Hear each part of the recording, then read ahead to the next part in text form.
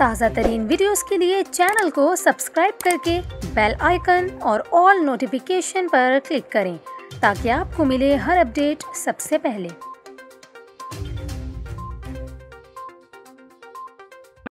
और अभी आपको बताएँ, हुकूमत ने तवानाई बचत प्रोग्राम के तहत मुल्क भर में शादी हॉल्स रात 10 बजे और मार्केटें साढ़े आठ बजे बंद करने का ऐलान कर दिया विफाकी काबीना के इजलास के बाद। मीडिया ब्रीफिंग में वज़ीर दिफा ख्वाजा आसिफ ने कहा कि सरकारी इदारों के बिजली के इस्तेमाल में तीस फ़ीसद कमी लाई जाएगी इस मंसूबे से। सालाना बासठ अरब रुपए की बचत होगी, ख्वाजा आसिफ ने कहा कि सारी दुनिया में जिस वक्त दफातर मार्केटें बंद होती हैं, पाकिस्तान की रूटीन इससे मुख्तलिफ़ है। यहाँ मार्केटें और रेस्टोरेंट्स एक दो बजे तक खुले रहते हैं। दफातर का भी यही हाल है।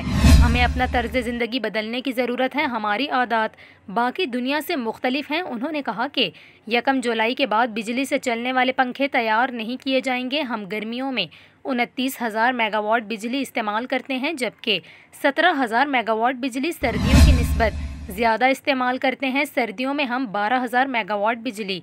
इस्तेमाल करते हैं गर्मी से बचने के लिए।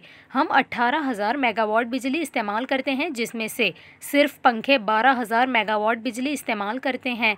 प्रोग्राम बना रहे हैं कि बिजली का इस्तेमाल नीचे लाएँ। हम एक प्रोग्राम पर अमल कर रहे हैं कि पंखों में बिजली का इस्तेमाल कम किया जाए।